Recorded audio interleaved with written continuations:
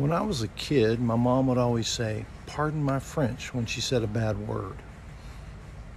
I'll never forget that day in school when my teacher asked if I could speak French.